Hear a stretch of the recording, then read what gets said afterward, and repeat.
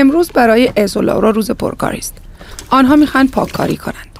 هر دو سعی می‌کنند همه چیز را به صورت اساسی تمیز و مرتب کنند.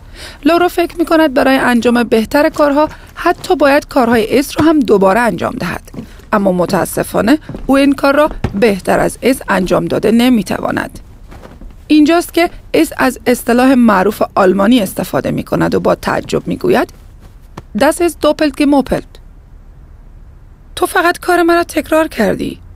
هیچ چیزی در نتیجه عوض نشد.